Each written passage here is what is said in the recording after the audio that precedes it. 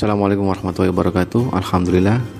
Berikut ini adalah e, Mengetahui kondisi as kipas angin yang sudah aus atau rusak ya. Jadi beginilah kondisi As kipas yang sudah aus atau rusak Di posisi as sudah kita bongkar dari dinamo ya.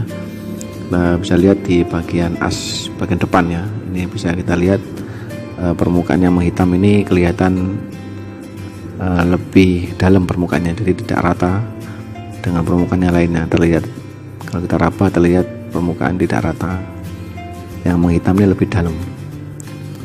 Jadi sudah aus.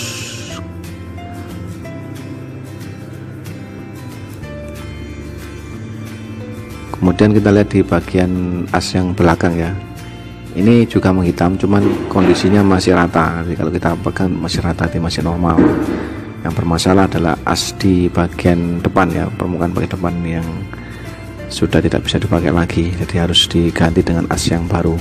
Dan ini adalah contoh as kipas angin yang masih normal ya. Jadi terlihat masih tidak ada yang menghitam atau permukaan yang tidak rata ya. Jadi masih mulus tidak ada gesekan ya. Jadi ini adalah uh, contoh atau perbedaan dari as yang masih normal dan as yang sudah rusak jadi supaya kita tahu bahwa kondisi asnya itu bisa seperti ini ya bisa rusak seperti ini.